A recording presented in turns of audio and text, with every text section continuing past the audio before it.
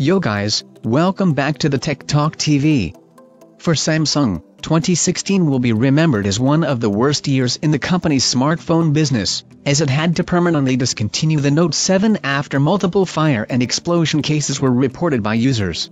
The debacle caused Samsung to take a hit of at least $5 billion. The issue was even claimed to force the company to consider killing the Note lineup completely, with no future smartphones to carry the iconic phablet brand. But the company recently refuted such reports, and now, a new report points at the code name of the Galaxy Note 8. With that being said, let's get right into the video.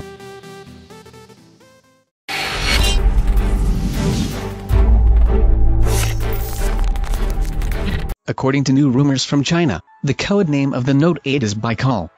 For those not familiar with the name, Baikal is a Siberian lake, which is also the deepest lake in the world. The Galaxy Note 8 is expected to feature a 4K display, for better VR experience, and the AI-powered virtual assistant, Bixby. Samsung will reportedly source batteries for the device from LG. Nothing much is known about the upcoming phablet as of now, but I will keep on reporting about the devices and when I get any new information about it. So, what do you think about this? Are you willing to buy the Note 8? Do let me know in the comments, and give this video a thumbs up if you like, and until next time, peace out.